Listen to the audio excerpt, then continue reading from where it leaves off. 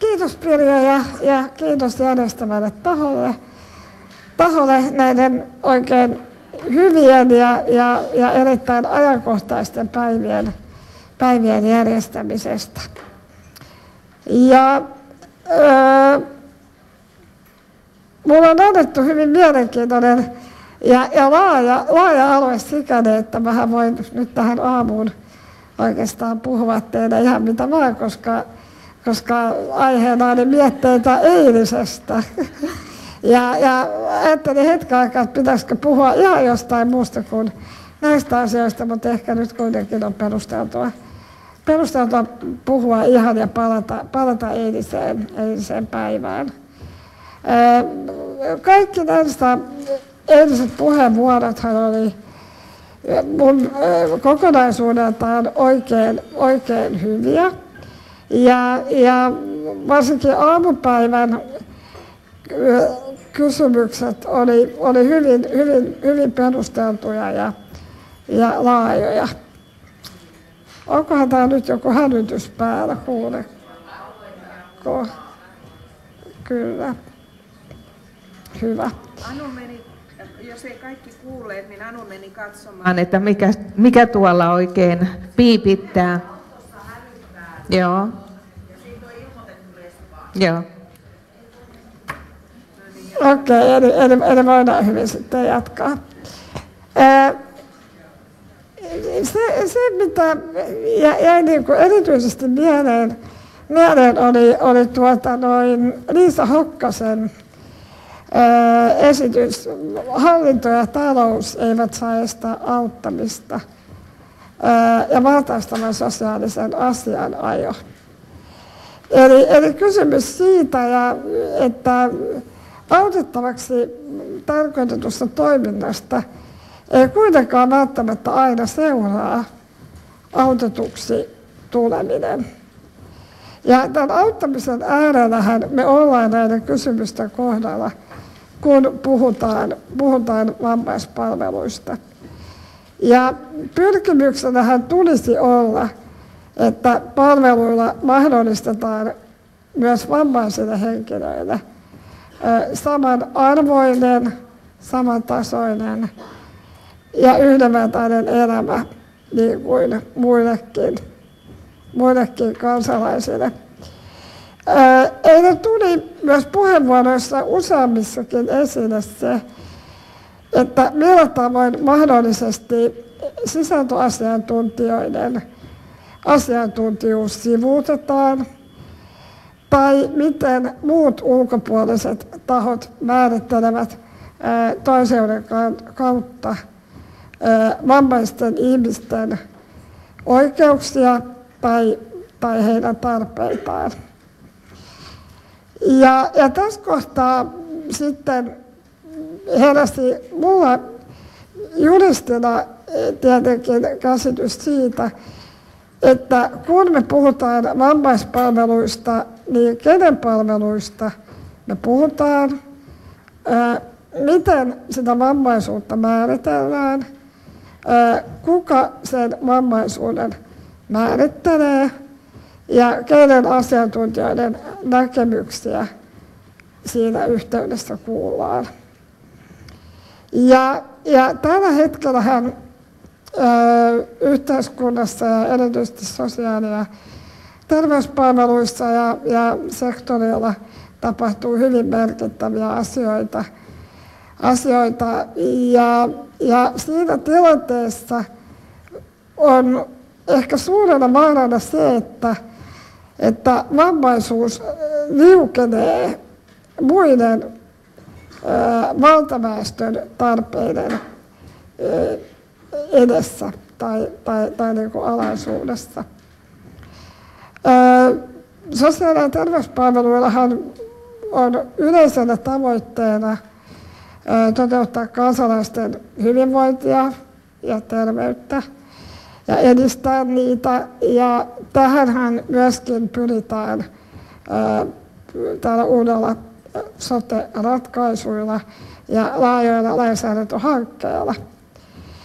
Mutta miten vammaisten ihmisten hyvinvointi ja terveys turvataan, ja missä kohtaa vammaiset ihmiset kokevat, että näin on toteutunut. Onko se heidän palveluvalikoimassa ensisijainen kysymys vai onko ennen tätä näitä ennaltaehkäiseviä toimia ehkä joitain muita palveluita, jotka ovat paljon elintärkeämpiä ja elämän perusedellytyksiä turvaavia asiakysymyksiä. Ja tältä osin me oikeastaan päästään siihen kysymykseen tai sen asian äärelle, että vammaispalvelut ovat vammaisille ihmisille niitä perustavaa laatua olevia välttämättömiä ää, asioita, joita ilman vammainen ihminen ei voi edes tavoitella tällaisia yleisiä, ää, yleisiä ää, niin kuin hyvinvointiin tai osallisuuteen tai muuhun yleisiin yhteiskunnallisiin asioihin liittyviä tekijöitä. Ja se sitten, että millä tavalla vielä määritellään se, että keitä nämä palvelut koskevat, on, on merkityksellistä. Ja mä ehkä niin kuin haluaisin nähdä, että kun me puhutaan vammaispalveluista ja vammaisten ihmisten kysymyksistä, niin me ymmärrettäisiin, että mistä asioista silloin on kyse ja kenen ryhmän asioista, koska ne poikkeavat niin merkitykselliseltä määrältä, ei henkilöiden, joiden toimintakyvyn rajoite ei ole niin merkittävä. Että se ehkä, mikä on vammaiset ihmiset kokevat ikäväksi, on sellainen liudentaminen, että ajatellaan, että kaikkihan me tarvitaan apua. Tai kaikkihan me olemme jollain tavalla vammaisia.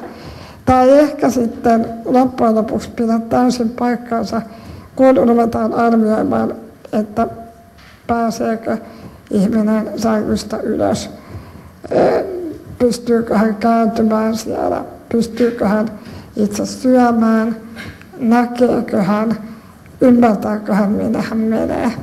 Eli ihan elämän perusedellytyksistä on tällöin kyse.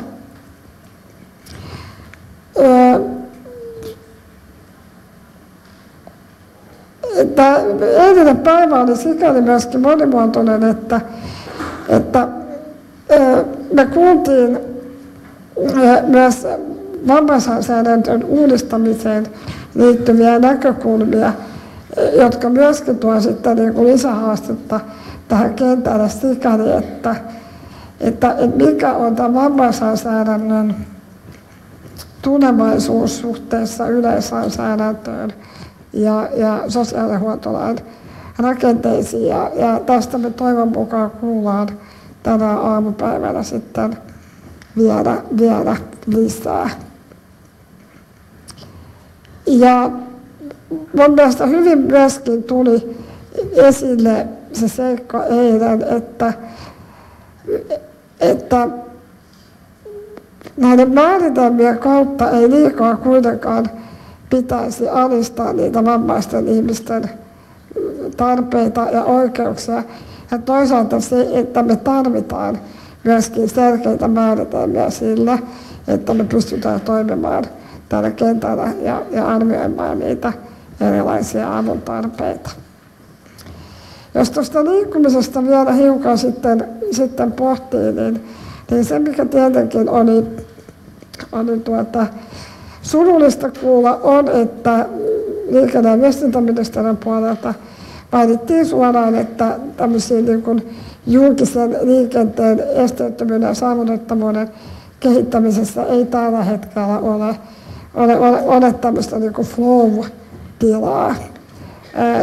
Toisaalta sitten juuri nimenomaisesti ja laaja-alaisesti näiden yleisten palveluiden koskettaa ne sitten julkista liikennettä tai terveyspalveluita tai, tai muita maankäyttöön tai rakentamiseen liittyviä osakysymyksiä, niin siellä nimenomaan näiden jo yleisten palveluiden saavutettavuuden mm, edistäminen ja, ja, ja niiden käyttöön saattaminen eri tavoin toimintarajoitteisten kansalaisten saavutettavaksi, niin merkitsee tietenkin suoraan myöskin erityispalveluiden tarpeiden, tarpeiden vähentämistä. Ja toisaalta nythän on ihan juuri vuoden alussa voimaan tullut tämä yhdenvertaisuuslainsäädäntö, mitä on pitkään odotettu. Ja sielläkin on selkeästi asetettu ja velvoitteita sitä laajennettiin sitä soveltamisalaa ja myös syrjintäperusteiden osalta.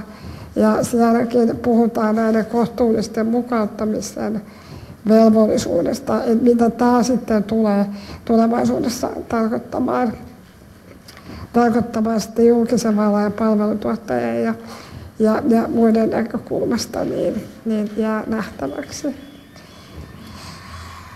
No, mutta en tiedä, pystyykö nyt mitenkään tuomaan esille sitä näkemystä siitä, että minä mietteillä eilisestä, koska paljon oli hyviä puheenvuoroja, paljon sanottiin, mutta ehkä se ydin, mitä, mitä ei voi koskaan liian, liiaksi painottaa, on se, että et, et, et, et kun vammaisten ihmisten oikeuksista puhutaan niin täytyisi, ja vammaispalveluista, niin pitäisi nöyrän olla siinä, että kenen asioista puhutaan ja fokusoida se siihen ryhmään. Et oikeastaan tässä kohtaa mun tulee mieleen tämä Juhani Eskolan huomio raitiovaunussa näkemästään sloganista, että olemmeko liian pieniä mahtumaan joukkoon. Tämä, tämä slogani kosketti lapsia, mutta mun mielestä se on ihan yhtä sovellettavissa oleva, oleva vammaisiin ihmisiin. Että vammaisia ihmisiä on kuitenkin, jotka tarvitsevat toimintakyvyn, merkittävän toimintakyvyn rajoitteen takia palveluita, joita muut eivät tarvitse, niin heitä on kuitenkin suhteellisen vähän. Että Varhilan arvion, arvion mukaan tämmöisiä erityispalveluita tarvitsevia on noin 100 000 henkeä ja prosentuaalisesti se on noin Suomen väestöstä 1,8 prosenttia. Ja tämänkin ryhmän sisällä näiden niin palveluiden laajuus ja sisältö ja, ja, ja määrä vaihtelee tietenkin, että toiset tarvitsevat hiukan enemmän, toiset vähemmän. Mutta ehkä mä tähän lopuksi, niin, niin tuota, tätä ehkä meidän, mä en tiedä, en mä halua sanoa, että tämä on meidän tuskaa, jaettua tuskaa, mutta mutta tuota, tämä on kuitenkin suhteellisen yksinkertaisen, mutta kuitenkin asian, joka, josta tehdään usein hyvin vaikeaa, niin, niin äärellä, niin, niin mä haluan todeta, että ei se maailma nyt niin hirveästi ole kuitenkaan muuttunut. Eli mä kerron teille tähän loppuun tämmöisen 136 vuotta sitten Savo-lehdessä, eli vuonna 1879, tämmöisen nimettömän henkilön toteamuksen. Ja jokainen voi sitten miettiä, että pitääkö tämä edelleen paikkansa. Vaivaishoitoasiassa ei koskaan päästä perille. Ei valmiiksi tulla puuttumattomalle kannalle. Siinä on aina oppimista, tutkimista, kokemista, korjaamista – ei tässä työ lopu, ei konsanaan. Ja oikein hyviä neuvottelupäivien jatkoja ja mä toivon, että nämä asiakysymykset herättää ammattilaisten työssä jatkossakin, jatkossakin hyviä asioita. Kiitos.